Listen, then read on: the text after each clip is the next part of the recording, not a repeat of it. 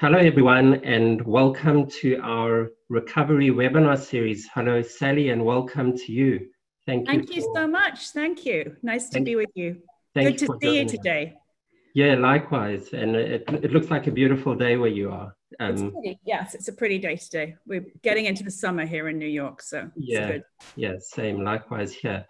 Um, so um, thank you for joining us, everyone. This is the first of a four-part series that um, that we're putting on and hosting at, at Rapaport over the next few weeks.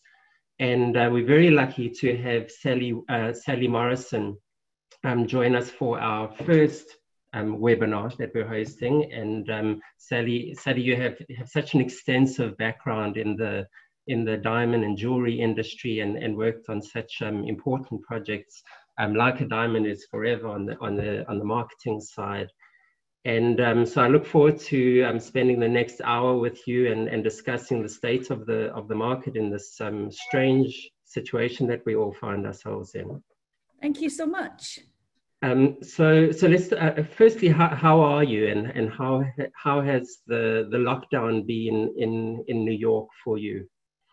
Um, well, I'm very well, very healthy, happy to be, planning on staying healthy. Um, I think um, it's been uh, it's been it's been quite a, an anxiety provoking time. Uh, seeing New York City shut down is is is quite um, agitating and alarming. Um, I think initially there was an enormous amount to do, obviously, because for all of us, um, everything we'd planned prior to March sort of had to be scrapped, paused, put on hold, and we had to sort of rethink um, everything. So it was there was a kind of strange freneticism about it. Um, but also, I think this has been for for many of us an opportunity a little bit to get off the merry-go-round for a minute and and think. And it's been a period of of, of kind of uh, solitude for sure, but also reflection. And I think um, that's been in some ways a gift actually. So it's a mixed it's i, I have mixed feelings about it. Yeah i, I think um, both on, on a personal level and and also a, um, a collective um, level uh, as an industry, I think it's it's uh, it's enabled us to sort of stop and you know we've we, we've got caught up in such a fast-paced, moving world that um, I, I, feel like it's given us some time to breathe and right. sort of reassess our goals and our strategies um, m- moving forward. Um, and for some of us also to to reassess our, our professional um, direction. And um, in the middle of the of this um, this period, uh, De Beers announced a, a, new position that you've taken on. Um, and so over the last what's been two or three years that you've been um, the head of marketing at, at Lightbox and you've now taken on a new role at De Beers. Um, do you want to explain to us what your what that role is and what your position, your new position entails? Sure, sure. Well, um, first of all, it's actually not a new position. I, um, I'm replacing somebody else who left um, earlier this year. Um, it's it's a public relations position, um, sitting in consumer and brands and De Beers Group. Um, and I think, you know, um, De Beers for the last several years have been primarily communicating to consumers via their own brands. And I think there was a feeling that um, there's that there's there are some gaps in the market. There are some places to talk directly to consumers that you want to speak to in a sort of non-branded way, just on behalf of the group. So it's a PR position, really um, addressing the natural diamond conversation with consumers um, the focus initially, at least, is very much in the U.S. and, and you know we'll we'll build on that, I hope. But um, so it's it's um, for me, it's a little bit you know coming back to the mothership. I mean, I had a, a fantastic time at Lightbox. Uh, I think what we have started there is was is fantastically interesting and creative work, and it's always so exciting as a marketer, right, to start a new brand from scratch and see it grow out of nothing. But um, there is this sense now of um, sort of familiarity of going back home in a way. So uh, and i think the timing is extremely you know difficult and unfortunate. It's very hard to start a new gig in the middle of, of, of this lockdown but um, but we will go forward. When, you, when you say you feel you're, you're returning home i'm not sure if you're, you're referring to um, the de beers corporation as such, uh, or, or, or, or natural diamonds? Um, I, I, I, I, think very much natural diamonds. I mean, I, I, had other careers uh, before jewelry, but my first first uh, job in jewelry was at a Diamond is Forever uh, in the early 2000s. So I'm sort of um, going back to that sort of natural diamond voice, and um, you know, there's a lot to do, and I'm and I'm excited to be part of the team doing that. Yeah, well, well, we we always felt that that was your your natural role, is it, is it in, the, in the natural in the natural diamond uh, diamond world, and and and with, as proponents of of the, of natural diamonds, we, we're we're happy to have you back. But it, but it's it's it's kind of interesting. It's been interesting to watch Lightbox um, grow, um, and and I think one of the areas that was very successful and that uh, I hope the, the industry can can draw from has been its communication with consumers. You know, as a, as almost um, emerging as a um, sort of a spokes spokes um, brand for the for the lab grown sector. Um, I think was very effective in in talking the language of, of consumers, and and I think the natural diamond um, industry kind of has this. There's a perception of being sort of old school luxury and um, and in, in, inaccessibility about that. So so how do you translate the language that that you were using um, in um, at Lightbox um, to to the natural diamond world and make it more accessible for for the younger consumer? Well, I think we really have to think about that, right? Because because um, the, the, the thoughts are the same. You know, that the, the natural diamonds stand for you know are symbolic of the most important deep connections that people make in their lives. So it's about taking that idea and, and I, I, guess messaging it in, in or, or, coding it in a way that is um, is is sort of accessible to the millennial consumer. Now, I think we have a lot of a, a lot of things to think about this year. This is obviously a bizarre time, but but you know that's certainly something I'm thinking about. You know, how do we connect with that that group of consumers coming into the market who shortly will be uh, falling in love, getting engaged, marking those moments with a piece of diamond jewelry, and how do we get them into, you know, get bring them into our world? Right, and it, I mean, it, it is a, it is a, um, I mean, that's the age-old um, uh, question and and and symbolism that the the natural diamond, um, and I think it's timeless that the natural diamond, uh, diamond sort of represents. Um, do, do you feel that in this period, um, people are, um, ha- has this, um, this strange time sort of accentuated that feeling towards, um, towards um, the natural diamond product or, or changed it in any way?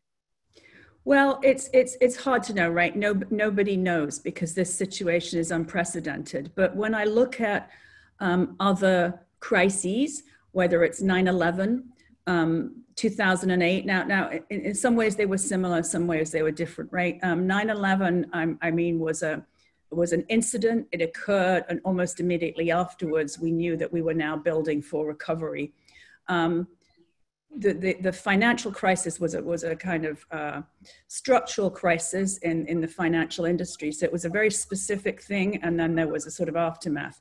This is a little bit different, and I think it's a little bit different because um, you know the, the the, the the country being locked down, open, closed is not really a binary thing. Um, this is going to be kind of a rolling return to business and a rolling recovery, and I think we're going to see perhaps some fits and starts in that. Um, some states you will have seen on the news have already reopened um, judging by the way people were behaving in some of those places in pictures, you know, not observing social distances, very close to each other on boardwalks, things like that. I would expect there will be this sort of bubble of new infections and sadly also deaths. So perhaps some of those states or counties will pull back a little bit on opening. Um, so I think this is a different crisis in that it has a kind of this long, sort of extended limbo, and it's going to go on for some time it's a marathon, not a sprint. Having said that, I think what we do know from all these previous crises is that people more than ever want to be connected with people afterwards, right? And I see it all the time. I see people who are on Zoom calls like this for work all day long and then get on a Zoom call with friends, family, loved ones at night to have a virtual cocktail hour or quiz night or something like that. There is this deep need for people to connect. And I think that being isolated and sheltering in place, as we've all been doing since the middle of March here in the US, has intensified those feelings to want a connection with other people. So I would expect as we come out of this, state by state by state, pent up demand for sure for um, classic gifts of love, whether it's engagement rings, whether it's a fantastic piece of jewelry to tell the person you love that you know they're super meaningful to them. And I think we're hearing anecdotally um, stuff like that coming from some of the jewelers that are opening up, and I would expect that. Um, that feeling of deep need to connect with someone and kind of market with a natural, like deep, deep thing from deep in the earth, that's natural diamond, I would expect that to be a, definitely a kind of um, a movement. But I think our job as an industry is to make sure that that diamond jewelry is front of mind, right, when people do return into the market. So, mm. long, long answer to a short question, but I think you know, a bit of a work in progress as we watch this unfurl. Yeah, I mean, well, it's it's interesting. I mean, I mean, there are, there are a lot of points to, to draw from in your in your answer. Um, the, the first that that's um, the first observation that I've had as as retail is starting to open up again is that um, that retail is being quite disciplined in enforcing that social distancing, right. Right. Um, which I, which I think um, which I think gives some confidence to um, to consumers to engage with. Uh, with um, with retail. Um, so, so I think that is, that is encouraging. Um, the, the, the other point is that you know when we talk about this um, pent up demand and and I think um, there, there was uh, you know the reports that we've had about Mother's Day have been very positive for right. for the jewelry sector, which is um, which is uh, interesting and, under, and almost understandable as well, and feeds in nicely to what you was, you were talking about about you know, wanting to express um, express your your emotional connection with with someone, and, and certainly with with uh, you know the, a mother is is the ultimate um, in in that um, relate in that um, in that uh, interaction. Um, but on the other side of it, there uh, we, we there's an economic reality that um, that we're facing, and um, and and we're in a, a recessionary environment in which um, people are then hesitant to, or they would prioritize um, necessity over discretionary spending. So I would imagine that that feeds into a sensitivity in our marketing of um, of a, ultimately a luxury product like um, like diamonds and, and diamond jewelry. I think that's a hugely important point. Um, I think that first of all, it's not one size fits all, right? There's a, there's a, a wide range of consumers in the United States, and I think there are people who have resources, um, who will always have resources, and will still be able to afford to shop. There's also going to be this, you know, huge sort of swathe of people who have lost their jobs. We have, you know, incredibly high unemployment figures already, and that will probably get worse before it gets better. And those people um, are going to have difficulty surviving during this, right? We're going to see um, kids like giving up their apartments, moving back in with their parents. We're going to see all sorts of things we haven't seen in a long time. I do think that the um, implications for luxury are that I think, and, and I, I hear this speaking to friends in the fashion, you know, people who are working in the fashion industries or commenting on fashion, the media. I think this is going to have a profound impact on luxury because I think there needs to be a delicacy and a discretion and a kind of um, humility about people shopping. There's, there, there's going to be this sense, a little bit of shopping shame, and oh, I can afford to do it, and other mm-hmm. people mm-hmm. can't. And I think that's going to have an impact on brands, honestly. And I think the brands that are kind of understated, restrained, discreet, not so obviously badged are probably going to do better than the other kinds of brands. And I think actually that's good news for what I would think of as brand diamond. Because what is more classic, more simple, more elegant than a solitaire focus piece? You know, that simple, simple jewelry wardrobe. So I think we have to think about that as an industry because there is an opportunity there. But but for sure, the sort of very conspicuous consumption is going to be a no-no, at least for the short term. And I think that's going to have all kinds of implications for the red carpet, for the way that celebrities dress, for the way that people um, uh, show their wealth or not in this case. So yeah, it's, it's, it, that's a big point. Um, and that, that was the experience um, from what I remember after the, the 2008 financial crisis, that there was this right. sort of hesitation to, to display wealth. Um, yes. And, and I think that um, that will be a factor um, moving, moving forward. Um, but, but, but, you know, through this, this whole experience, the, we, we and I think in any any sort of downturn and, and, and crisis that the industry goes through and that um, that consumerism goes through, um, it influences some changes in the way people buy and in consumer habits. And certainly the, the buzzword or, or the one li- the one bright spot throughout through the last you know two to three months has been this um, this acceleration of digital um, uh, of digital activity, um, you know, Zoom meetings, but also shopping online. Um, I think people are becoming more accustomed to um, to the idea of buying um, even high ticket items on um, online and, and using digital platforms to to buy. and so is, is that a sustainable change in consumer habits? What, what, what, what changes um, do you think will be long lasting that we've seen um, in this period? Um, yeah, well, I think the, the interesting thing about this crisis is it sort of intensified changes that you've, you know, registered that are happening anyway, right? This has given velocity to things that were out there in the culture. The push towards digital, particularly mobile, is one of them. Um, and yes, I think the world is going to be fundamentally changed by this. And I don't think once we've gone there into this digital realm, we're ever going back. Um, so I think it's going to change the way that that brands um, clientele to to to their consumers. I think we're going to see um, innovation in kind of platforms that allow people to see and experience jewelry and fashion in a kind of dimensional way. I'm not sure yet what those platforms are, but I would expect innovation to come in the way that selling occurs. Um, I do think there's also via digital this opportunity for a kind of more personalized communication that seems more appropriate for the time, like more like OG clienteling, where, where it's a sort of more one on one kind of relationship with your customer. Um, but we'll see. And, and I think just hearing anecdotally what, what a lot of um, businesses and brands have been using this time um, to kind of re rejigger um, changes they were making in their in their kind of digital offering anyway, but doing it faster, thinking about better ways to connect with customers.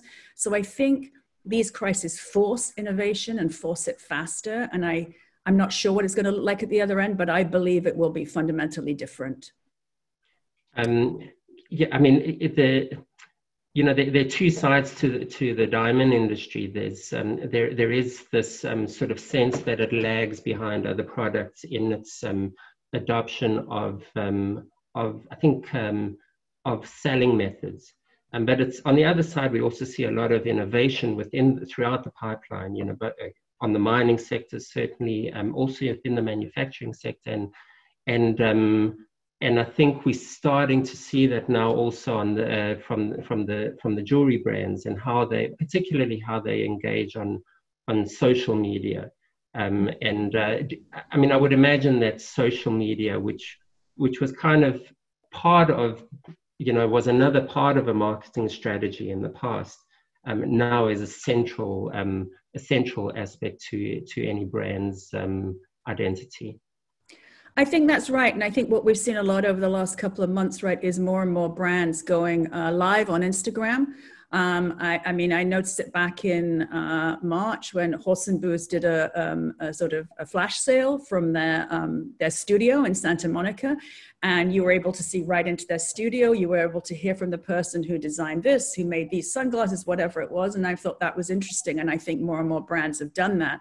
And again, that does sort of feed into this sort of this sense of uh, connectedness and intimacy that we were talking about like suddenly you and i can see right into each other's sitting rooms and we see like almost forensically little bits of each other's lives that we weren't aware of before and i think we're having that experience too with the brands we follow right because we're seeing the creators very directly in their own environments, talking about their process, how they made this piece, and so on. So I think yes, that sort of that sort of directness of um, particularly Instagram TV and those kinds of things are, are, are, really helping brands have a much more personal relationship with their customer. And I think that's very much at the moment. I think it's a good thing. And, and I think it, it also is democratizing because even quite small brands can do that in an effective way without needing a lot of marketing budget. So that's helpful. Yeah, where does that leave the influencer?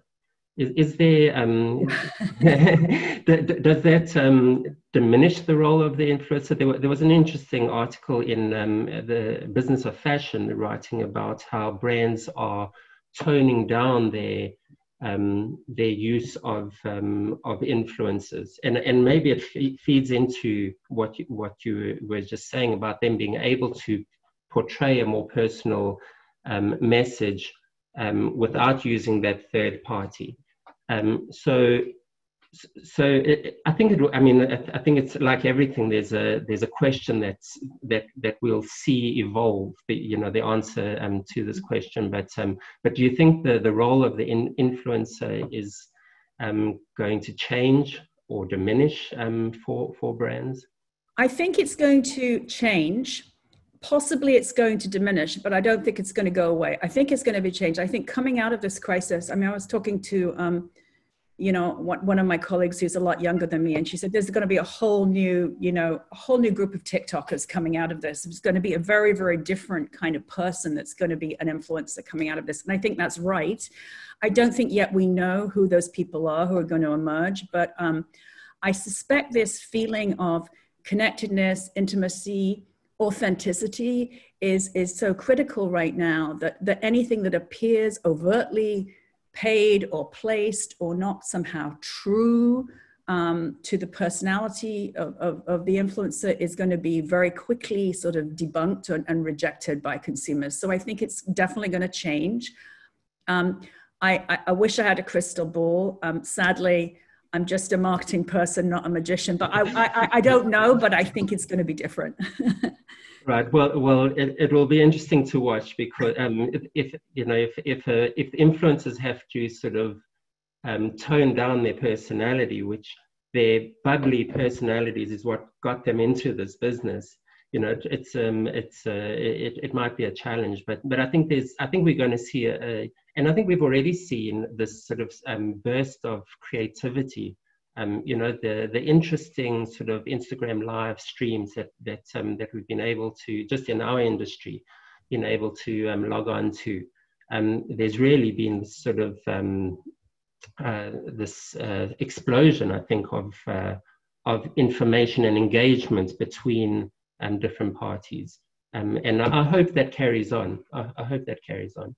Well, I think it's also there's something that's it's, it's more considered, right? I mean, that one um, trend that was pointed out to me this weekend is there's an increasing number of, of, of like fashion and jewelry influencers. I mean, looking at th- things in their own jewelry box, and this is from my grandmother, and this is from this one, and this is from that one, and doing more studied, kind of considered, like close up pictures of things that they actually own as opposed to things that are placed and, and you know, put in there by a brand. So I think that sort of return I think it's not really a nostalgia. I think it's a, almost a return to thinking about things that were there in the past that still remain because it's comforting to people because there's a kind of reassurance about it and a sense of, you know, this has been around for a long time, this piece in my family, and it will continue to be. And again, that sort of trend, whether it's a micro trend or it becomes something bigger, is I think something very interesting and useful for us in the natural diamond space, right? Because what is what is more timeless and passed from generation and heirloom than a piece of diamond jewelry. So I, I think there, there is something interesting out there because a lot of these influencers are, are having to create their own content to keep their streams live from things that they actually own as opposed to things that are being brought in by brands. And that's, right. it's, it's, there's a reflective moment in the culture for sure. Um, yeah, that, that, that, that is interesting. And I think, again, it's sort of, um, it, it plays on this theme of everyone just having to calm down and and um, put into perspective what's important and, and what's important is not the you know the the flashy um, big ticket item that, that that an influencer gets to showcase on their on their Instagram feed, but but that that simple jewel, piece of jewelry that they inherited from their you yeah. know from their from their their mothers or, or, or grandmother um, is what is really valuable to them and uh, and I, I, I, again I, I, like that um, authenticity that's um, that's that, that would come through um, in that in that uh, on that angle. Um, the, the challenge then would be for for brands to show um, to show that uh, that um, sort of those values or, or the, that right, um, right, you know and right. uh, De Beers has been speaking a lot about um, about values you know di- you know that the diamond industry uh, diamonds have value and they also have values and that, and that seems to be the um, sort of the messaging that I've picked up from uh, from the company in the last few months um, and actually it's been I think w- without using the, that, that that those words um, it's been a message that it's been pushing for, for a few years now. Um, but um, the idea is to build trust for a brand. And so, how, how does one go about um, uh, building trust amongst, com- amongst consumers in this in, environment? Um, well, I think I think trust has always been important. It's a key part of building a brand, right? The the the, the consumer has to trust you. Um, I think I, I, think I think the thing about values is, is is super important because I think we're you know brands are going to be measured as based on how they behave and how they come through this crisis, and and in terms of our brand and our industry, I mean I think probably it was said most eloquently, right, by Bruce Cleaver in his letter, his open letter, A River Runs Through It, where he talks about, you know, the water gathering and the Angolan highlands and coming through into the Okavango Delta and so on. And it's about this sense that we're all part of the same network, we're all connected by the same stream. It's moving, it's flowing, it's changing, but we're all part of the same stream. And that we all have to take care of each other in that whole supply chain uh, in, in, in order to, to, to, to sort of flourish together. So, so to me, that's a really important part of, of what we all have to do now. We have to be super transparent to the consumer.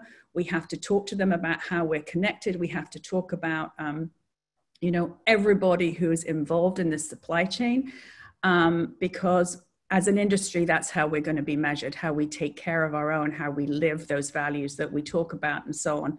Um, but I do think the, um, the, the, the, one of the themes that's coming out of one of the themes that was, you know, was certainly in the culture going into this crisis, but is, is has been intensified by it, is that is that interest in where things came from, that interest in, in, a supply chain, that interest on whose hands touched this product before it got to us. So I think expressing that and being clear about it is, is super important. Right. I, I was going to ask how the how your average diamantaire, you know, your your individual dealer who's got an office in in Antwerp and uh, you know in Mumbai, um, how do they feed into that um, into that element of trust? And I guess you answered the question in in uh, in in that they're part of the supply chain and need to ensure that um, that they know where their diamond comes from and can and provide those assurances. Um, I think it's traceability, transparency, transparency, and right authenticity about what the product is, where it came from, who it's helping. You know, um, I, I I just think that um, you know, we've been talking about this for a long time as an industry. We've gone some way towards being, you know, clear and transparent with consumers, but we have to go further because I think that need has been intensified in the consumer in the consumer realm. Right, and similar to that shift um, to to digitization, yeah. I think I think that this crisis is um, accelerating, is going to accelerate that aspect of, you know, it was a buzzword, the the whole traceability um, story, and I think that I agree the industry came a very long way in in quite a it took a while, but then in a very short period of time over the last two to three years, um, it made a very um, strong strides forward in that area. But I think that this um, crisis is going to accelerate that more. And my feeling is that it's the brands that are are going to insist on it. That um, in sourcing their diamonds, they're going to only want to, um, yeah. you know, deal with a company that can account for their product. Right. I think that's exactly right. I think that's exactly right. Um, I mean, there, uh, there, there, are all sorts of implications then as well that, um, you know, maybe we're becoming just a more streamlined and smaller industry as a result of, um, of that. But, um, but I guess it's up to individual company to, to right. play right. their cards. Um, we, we also, we speak about um, sort of, you know, the diamond industry touches various products and when we, uh, or various sectors and uh, we mentioned, um, you know, Lightbox was um, was targeting a, a sort of a, an affordable jewelry um, jewelry audience, um, so to speak. Um, and and we have that differentiation in the in the natural diamond industry as well. There's high end and there's um, there's affordable jewelry on the natural diamond sector. Uh, how do you see those two or, or that, that those um, two markets playing out in this uh, from this crisis? Will one recover um, quicker, or, or, or, or perhaps um, have an opportunity to gain market share in this um, in this environment? I don't. I. I, I mean, I, I. I don't know. I think. I think first of all, um, Lightbox is very much targeted at that sort of fashion, um, fun, sort of um, decorative like use, right? And, and that's a very different uh, mental and emotional mindset than a piece of natural diamond jewelry. So I think that those markets can happily coexist. I think the, the, the other question though is what's going to happen in terms of, you know, pricing around lab grown diamonds, right? Because um, certainly there's going to be economic pressure on a large sort of swathe of our population. And provided that the prices are appealing and accessible it may be a way to um, allow some people to be in the market that couldn't be in the market at all otherwise if the prices are you know accessible enough. So i think very hard to say very hard to say. But i think in the short term we should assume that there are going to be some people in this country that will not have money for any disposable luxury goods at all. Right, right. Um, and and it would take a crystal ball to um, to predict yeah. um, yes. you know, when, yeah. when when that um, full recovery would um, w- would would take effect. Um, I, I, do want to pause for for a minute just to um, uh, with, with, your permission, Sally. Sally um, if anyone has questions for for you, um, if we can take some uh, sure. questions towards the end. There aren't many in, in the in the in in the queue at the moment, but um, I just want to tell people that uh, it is available, and uh, and if you have any questions for for Sally, we'll be happy to um, to spend maybe a, a few minutes um, or, or a few minutes towards the end um, uh, running through some of those. Okay. Um, so, so, so the um, as as we uh, as we come out of um, you know with all these with all these sort of trends taking place and we and we kind of focus on the um, on the uh, on on the retail market um, but there's a whole pipeline that's affected by the you know the, the, the lockdown of retail has a trickle down effect on, on on the rest of the supply chain. And so what, what um, do you think those changes that are taking place at retail um, will have an effect on the way um, jewelers interact with the with the rest of the of the of the pipeline?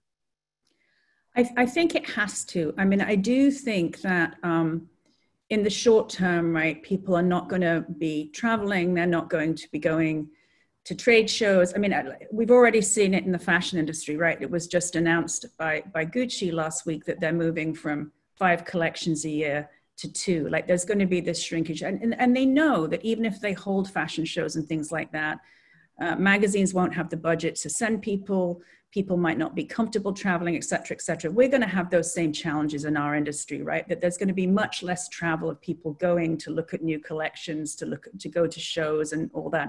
So it's going to force us, I think, to be very inventive And I think, again, like we are talking earlier, it, it's going to mean that we're going to all have to develop new platforms in order to show our product in a way that people can really appreciate the detail, the fine work, and so on, and, and write orders based on a digital interaction. So I think that's going to be an important change. There's going to be a little less of all those big group gatherings for the foreseeable future, maybe forever. Um, so I think that's important. I also think that maybe there's um, I, am that's that's sort of part that's part of it. But I think also in terms of um, the smaller independent designers and brands, which is a sector I'm pretty worried about too, because I think they don't have necessarily that much, you know, financial runway in order to, to keep going through this. I think we might see some interesting sort of, um, I, I, don't know, joining of forces where people perhaps share workshops and, uh, you know, and ha- we have multiple designers in the same workshops or using the same artisans to sort of try and pool their resources. So a sense of co- sort of collaboration and little brands, little designers working together, that kind of thing. I think I think that's going to be uh, an interesting space to watch too. Doubtless, doubtless, some some brands won't make it through this, but I think what we know about crises is that they do breed innovation, right? So we're going to yeah. see new brands, new creativity, um, and brands like working in different ways. I think I was I was thinking about this this weekend a lot, where I heard that um, I heard that Jared's have been um, helping people have virtual weddings. Right? right? They've been providing this service with like backdrops and you know how to how to have these platforms so you, your friends can be there with you virtually and all this thing. Now, who would have thought that a jeweler like Jared's would be would be evolving into offering this very very sort of specialized personalized service to their customers? And that's an interesting inventive response to a terrible situation but you know it's a very interesting offering. So i think we're going to see all sorts of stuff like that all over the retail space and that's that's exciting in a way. Right.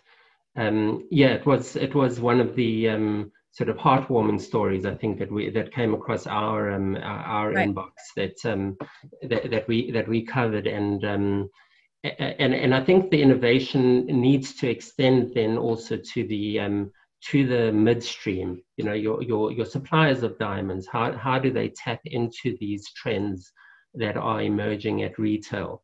Um, you know, making their inventory available yes. um, in store, you know, how tapping in, allowing retailers to tap into their virtual in, inventory, yep. making their their in, their virtual in, inventory interesting and interactive, and right. um, and I think again we we were seeing um, we were seeing some interesting innovation on those lines already, um, but I think um, I think, and when I would speak about, I, would speak to to people about that within the trade, and they would say, yeah, it's you know some retailers are on board with it, and but it's not really um, where the you know it's not it's not going to be en masse. But I think again, it's it's it's uh, it's another aspect that's being accelerated in this uh, in, yeah. in this environment. I completely agree. It's um. So um. So let, let's let's take some some questions from the floor um, and see see what's um, come in.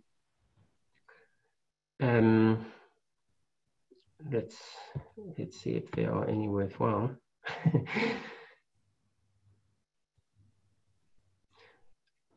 we have a question that's uh, that asked: uh, Do you not think that the term influencer influencer itself is self-indulgent? Um, um, maybe yes, maybe. Should they rebrand the the the profession?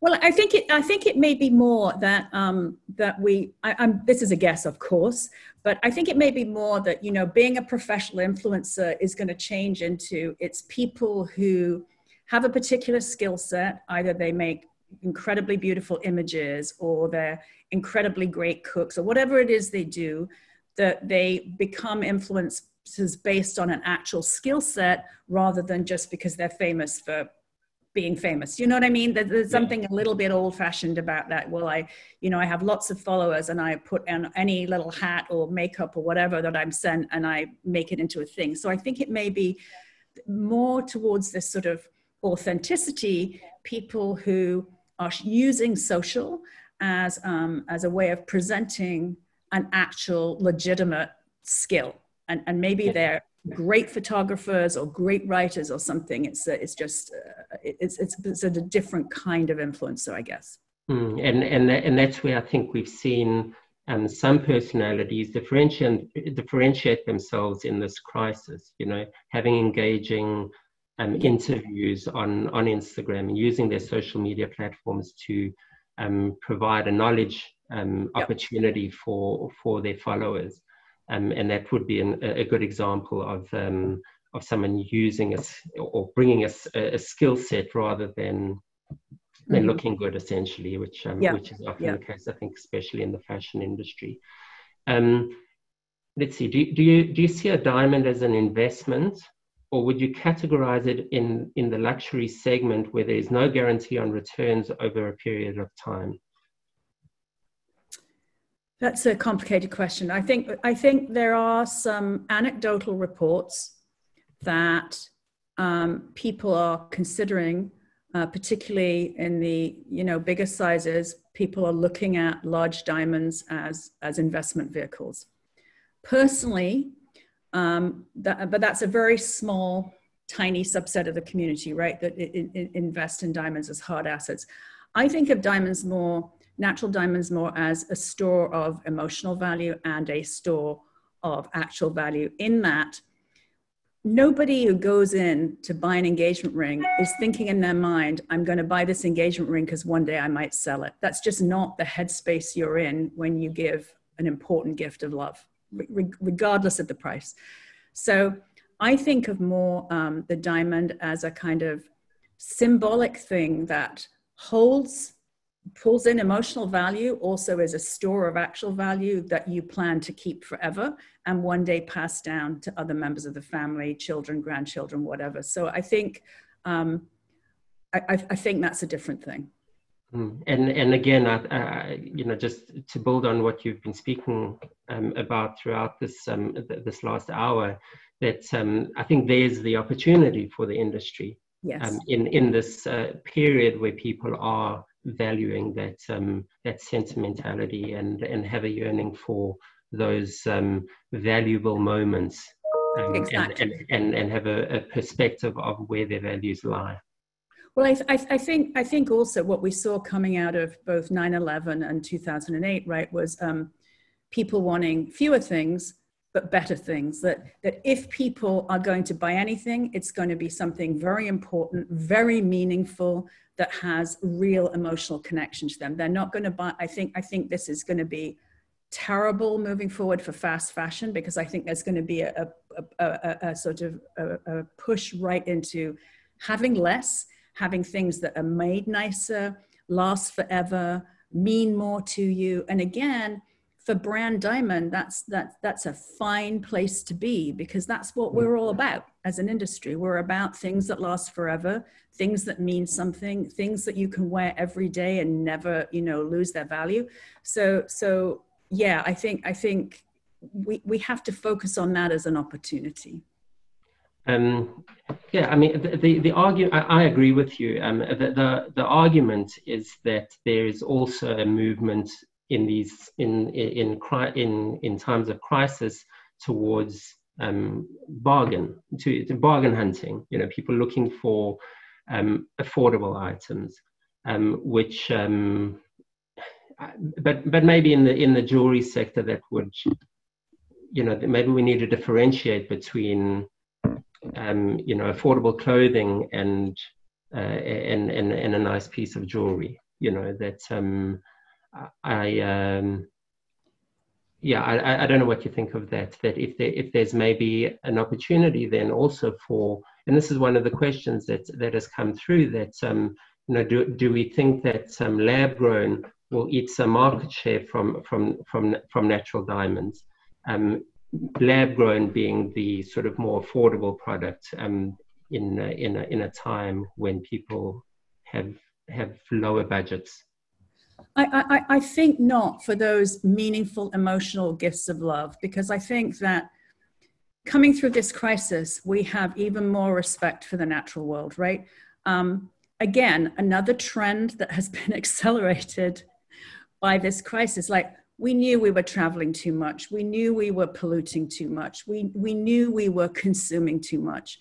This crisis has forced us to stop.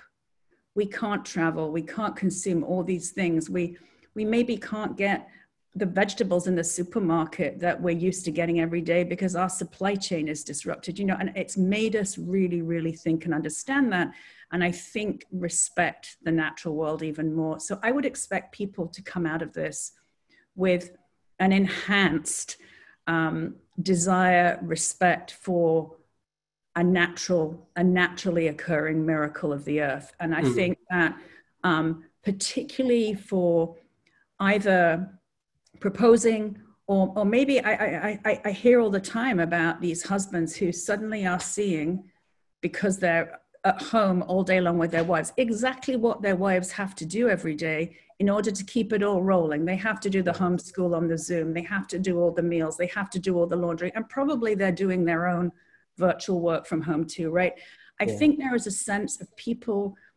recognizing and acknowledging what their partners go through to keep their worlds in line. So I would expect people to come out of this with a with um, a, a stronger desire to acknowledge with a gift of love what that means to them that those small acts of heroism that keep their world going every day so i think that's something you wouldn't sort of uh, celebrate with a product that came out of a factory that to me is about something that comes from the natural world um, and we'll see. But but but I I, I think um, we're just moving into a much more considered, thoughtful moment where where things that are just manufactured are going to be less desirable than things that have a, a profound meaning.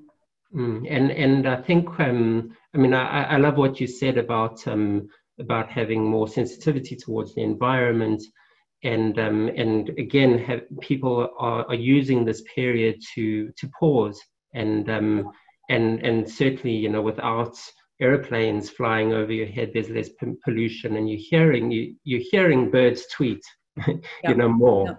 Um, and um, and I think that's been that that has that, that again over the last like year or two or three has um, etched its way into the industry's messaging. Um, and we're seeing, you know, we know De Beers is very involved in um, in environmental issues today. Yeah. Alrosa is also doing um, uh, has has a number of products, and uh, particularly I think from the mining industry, that um, that that. I, I mean, I guess it's it's just another avenue to to display a brand's values. I, I, think that's right. I think that's right. I mean, I was very struck. Um, I don't know if you know, I, I wrote it down because I loved it so much. Alessandro Michele at Gucci um, wrote in one of his diaries last week, we all turned out to be so small. And for me, that was like the, the, the perfect, um, the perfect encapsulation of this, like that we're all little and we actually, the world and the environment and the globe is bigger and more powerful than us and we've been stopped in our tracks. And, and I think, I think we're all touched by that, right? We're all touched by that, you know, hearing the birds differently, um, you know, underst- understanding, you know, that, that, that, that, that there are now fish in the lagoon and in, in Venice, that people in India can see the Himalaya. I mean, how incredible. But we were doing all this to the world ourselves, and the world has basically stopped us in our tracks. And so I think the messaging about how we contribute back to communities, how we how we take care of environments in the communities where we operate, uh, the things we're doing for our people, um, all very powerful positive messaging for the diamond sector yeah. right now, up yeah. and down the supply chain. You know, because there's a whole raft of things that we are contributing, but we've perhaps not done such a great job in the past of talking about. Right. Right, um, I agree, and it, uh, you, you, that, that quote was was absolutely beautiful. Um, it, it, so that it's it encapsulates, I think, how we all feel. Yeah, um, you know that um, suddenly, you know, even in our interactions with other people, it's it's not about me actually. It's it's about how I relate to other people, and um, yeah. Um, but um, uh, the, the other the other thought that um, that crossed my mind while you were talking is that birds are actually reclaiming what it means to tweet, you know, yeah, so yeah, we can yeah. uh, um, put a bit of perspective in. Um, the uh, we, we have a question that's quite interesting, and it, it says as follows: that uh, diamonds and fashion, um, do they have a chance to be close to each other, um, or is diamond um, a, or is, is or is a diamond forever classical?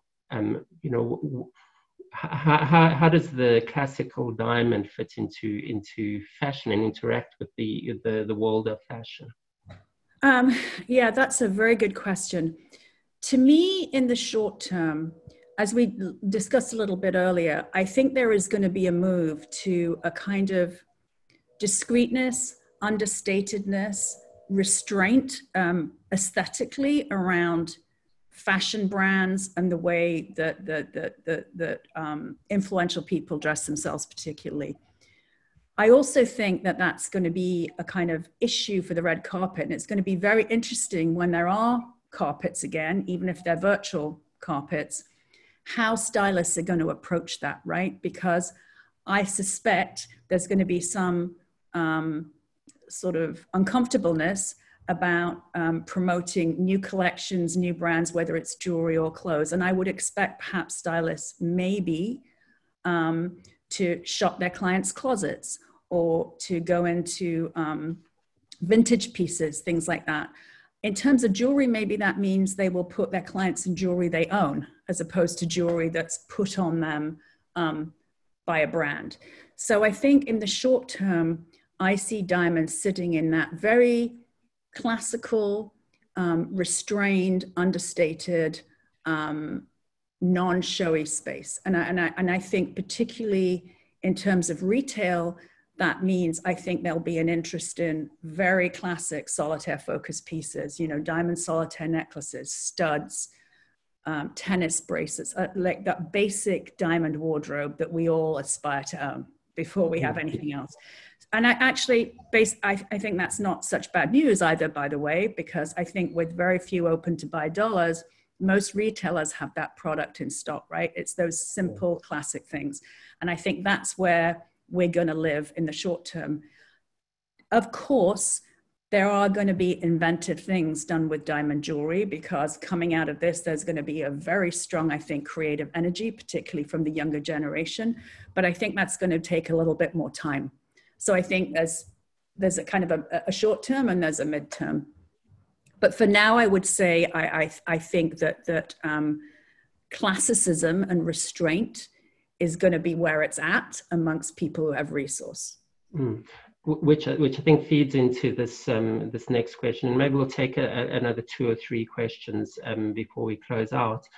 Um, but um, uh, this person asks, how do you see the second-hand or previously owned luxury jewelry market during this period? Again, um, I, I, I, don't have a crystal ball, but I would expect the interest in vintage and beautifully crafted things from the past and um, things that have enduring value to be very much of interest to consumers. Um, I think you know that this it's I think it's about a connection to a maker, right? The hand of the maker and something that's lasted through time, something that's maybe hand made, hand wrought, fine finishing, all those kinds of things. So I would think there would be a strong interest in that bit of the sector. And in times of, um, in difficult times, we, we, we tend to also see a, um, a um, more movement in the second-hand market um, I, I, think um, that that's that's something that I would expect that um, that you would have people maybe selling their jewelry um, and and the sort of stronger activity in the second in the second hand market. I didn't realize you're talking about selling. I was thinking more about buying. Yeah, I think that's. I mean, unfortunately true, right? What what what we what we've seen in other moments of economic downturn is people are forced. Um, to to sell their jewelry and uh, uh, particularly gold jewelry actually but um we'll we'll we'll see we'll see yeah yeah um okay let's see if um, we can take one more one or two more um so it may be a bit of a difficult question uh, or, or, or, quite broad, um, but how, how should small businesses replan their marketing budget which has now um, substantially been reduced? Um, I think I would double down on more personalized communication. So maybe segmented email, um, maybe um, more sort of old school clienteling, calling clients on the telephone, FaceTiming them, saying, I've got this beautiful new thing in, uh, remembering their birthday, remembering their anniversary, reaching out personally, having sales associates connect directly with their clients. I would be more focused on um, more personalized things.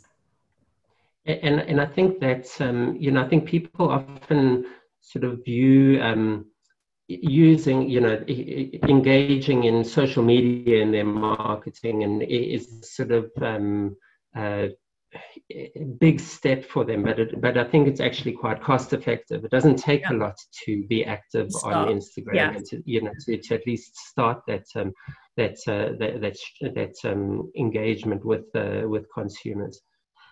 Um, a few people are asking about um, about the Diamond Producers Association, and um, so, so, in your new role, Sally, um, will you have an engagement with the with the DPA?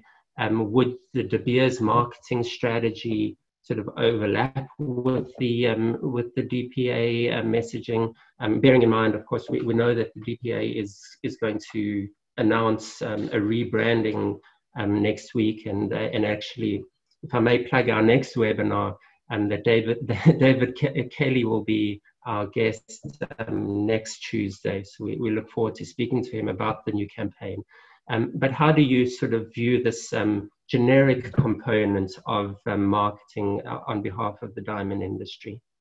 I think it's critically important. I mean, I think the DPA is charged right with driving diamond demand and the diamond voice generically across all sectors. So I'm extremely excited to see their unveiling and their rebranding. It's obviously an organization very close to my heart because I worked there in the past and I think they have a hugely important role to lead us all forward through this. Um, and I, I think we as De Beers want to be, um, you know, a very sort of active contributor to that. Clearly, we, we, we're an investor in, in that. And I hope that we will also benefit from it very much because um, we're, we're counting on, you know, them to build that generic voice. So I, I think there it's very important, very, very important. Right. And, and having worked on a diamond is forever when it was um, the voice and, and sort of the, the, the tagline for the industry on, on behalf of De Beers. Um, that, that would um, you know we we saw how effective that can that can be and, and how important it is to the industry to um, sort of build a build a, um, a centralized messaging that everyone can feed off of. Exactly. It's it, it's the most single important thing. I think a lot for us as an industry is riding on it and and i'm very much looking forward to supporting it uh, wherever we can. Me too. I'm excited to see what um, what changes they uh, yeah. they bring forward. Yeah. It's, uh, I agree. Uh, I agree. Um, you know, we, we heard we heard so much about the supply side. Naturally, when when when demand drops, um, there's a response on the on the supply side, and um, you know, with mining companies having to draw back production and um, and manufacturers um, being affected and, and curbing their rough um, intake, um, but there then in a crisis comes a time when it becomes appropriate to talk about marketing again and to think about what the appropriate marketing is. And I'm, I'm thankful that we're approaching that time now, you know, yeah. that, um, that retail is starting to open up cautiously and that we can think of a sensitive way to market, um, market our industry and our, and our product. Um, so uh, let's, let's leave with one last question. And, um, and uh, uh, thank you so much for giving your time and, and your insight. It's, it's so valuable to us.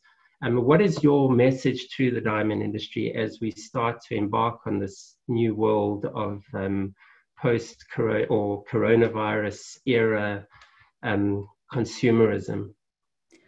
I, I, guess I would say that just based on to sum up our whole conversation, I think there are opportunities right now. I think there are opportunities uh, particularly for classic diamond jewelry. We're going to go across the summer. The country will start to, to reopen here in the, in the US. We will expect uh, an uptick in demand. Certainly, that's what they're seeing in China, and they're a little ahead of us there. Um, so I think we need to go full force and be focused on Q4, which traditionally is such an important time for us as an industry anyway. One thing I think that is, um, a, number of people have mentioned this to me, and I think it's totally true. This is a year where certainly travel budgets are going to be potentially available, right? That, that people are not going to necessarily do that ski holiday around Thanksgiving. They're not going to go, they're not going to get on an airplane. They're certainly not traveling this summer in most cases, and their children are not going to camp. So travel has historically been a huge competitor for us in the jewelry industry. I think this is a time when we have to think there are going to be available dollars there. Those plans have been put on hold. Now could not be a better time than to market and propose our product as something to mark this holiday season. So I, I would, in the short term, totally double down on the classics. I think there's nothing more appropriate and discreet and symbolic of a kind of important emotional moment than a piece of diamond jewelry. And I think what we know is that that a diamond can say things that words can't. And at this moment, we all need to like connect with people with those powerful symbols. So I think we we focus on Q4. um, well, I, I, I, couldn't agree with you more, and and I think um, it's going to you know it's we know that it's uh, we're we're still in the middle of um, a difficult period, um, but I think there will be um, opportunity for for growth um, at at some point, and and I think around the holidays there will be that opportunity for consumers to um, express or, or, to spend a bit more on on gifting and uh, and expressing that uh, that emotion that uh, you've spoken so eloquently about. Um, but uh, thank you so much for, oh, for pleasure. It's nice to talk to you. Likewise, and best of luck in your new position. Thank in, you so much. The, the position that's new for you. I, I yes, know new position new for me. um, in the meantime, you're still at Lightbox. I understand that. Uh, I'm just I'm just transitioning out of Lightbox for the next couple of weeks, and uh, hopefully there will be someone to replace me there very soon. Um, yeah. All right. Well, stay safe and, and healthy, Sally, and it was great talking to you. You Thanks, too. Thank you so much. Take care, everyone. Bye bye. Bye bye.